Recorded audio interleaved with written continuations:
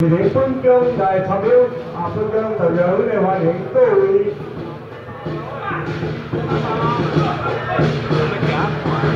Đây ạ